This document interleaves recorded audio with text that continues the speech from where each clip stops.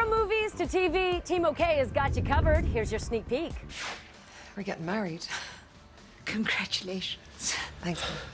Thought you were going to tell us you were pregnant there for a minute. And I'm pregnant. That's also part of this. Amazon's newest series, Catastrophe, comes to us after a successful run in the UK. The series gives real life a dark and humorous spin as it tells the story of an American man and Irish woman who end up pregnant after they hook up during a week long business trip. So tell me how the whole idea came about. When we realised that we were going to be writing a script together, making a show together, we just thought we should write about stuff that we know and the stuff we know about um, nuclear physics. Oh no, sex with strangers.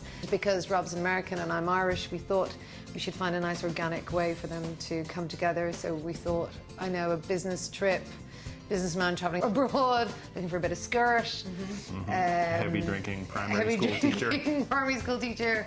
They obviously have sex on the first night, and she gets pregnant, and uh, and then he does, I guess, what you might call the right thing. You just don't think that stuff like this will happen what the repeated sexual intercourse between two healthy adults will do the exact thing it's supposed to do. Have you ever done a science class? This is just some of the darkest comedy that I've seen in a while, and it's great. Did you have the freedom because of Amazon that you could just kind of go there? Well, no, we just wanted to tell the truth, and the truth is marriage, you know, is messy. So, you know, it's real, but we wanted to make it funnier, but um, we also wanted it to hurt. You can check out Catastrophe when episodes begin streaming June 19th.